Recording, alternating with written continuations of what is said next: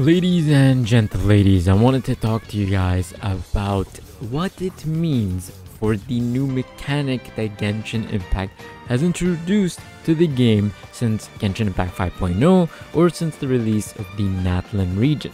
The reason why I'm talking about this is because after using Mualani, I'm just very, very in a state of wondering what's gonna happen next with the new characters. Obviously, the you know newest potential character or the actual just newest character is going to be uh, Kinich, and I'm very very excited for that character, and I cannot wait for his release. And he just has such a unique mechanic alongside Mualani, just that they have the surfboard thing with Mualani as well as the grappling thing with Kinich. They are just very very cool. Now, what this mechanic is specifically called is like Night Soul Blessing. Since the release of this new mechanic, I've been just, hey, what if this is a mechanic that they legitimately have limitless possibilities on what they can do with it? They have so, so many options on what they can possibly do with it. For example, create a character that has a Night Soul ability that teleports from one place to another across the map or something like that. I mean, I'm not talking about waypoints, I'm talking about like this, just like looking at the other spot and then TPing to it. Something like Keqing, but much, much farther. I don't know, something like that, right? Or maybe something like a full on car or, or, or a bike or something like that. I don't know. Some cool stuff that we could potentially see. It just has limitless possibilities. We've already seen one with Kachina where she's able to climb walls faster. We've seen Mualani, she's able to traverse the land faster and on top of water too. And we've seen a Kinich, which has the grappling hook stuff. Now, they could potentially make a character that is a very formidable, in, you know, underwater.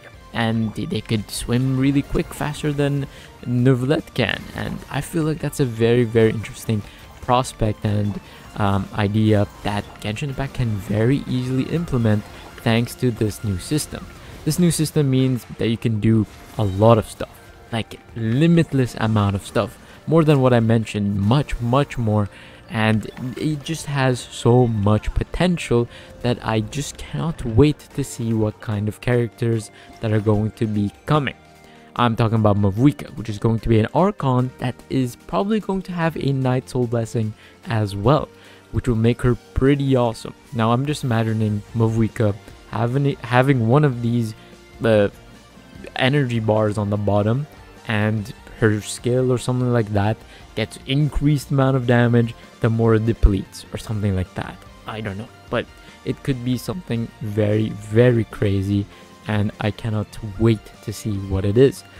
And these characters have infinite potential thanks to that. Now let's just go straight to Mualani and talk about how much it is invested into her kit or integrated into her kit that you just can't avoid it, right? For example, straight up, the first passive or the A1 passive, whatever it's called, instantly integrated here.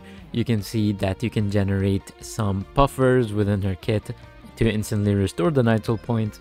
And then on her A2 passive, you can see that the that the Night Soul Blessing is already into play here as well when you trigger a Night Soul Burst.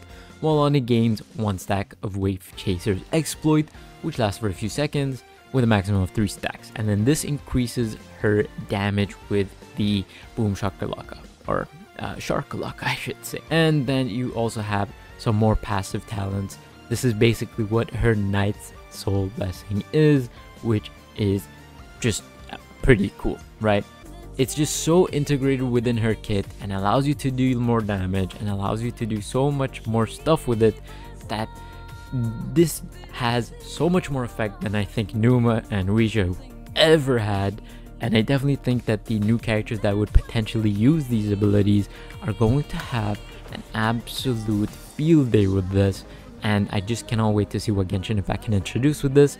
We're already going to see some Kinich actions very very soon, which I'm very very excited about. I said very a lot of times there.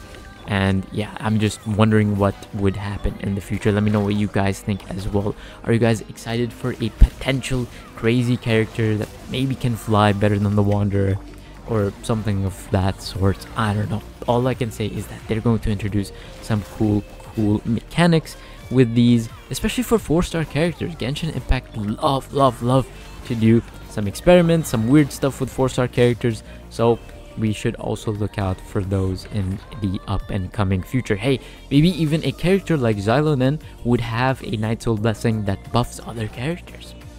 Just something straight out of my brain right there. Boom. Imagine that. That'd be pretty sick.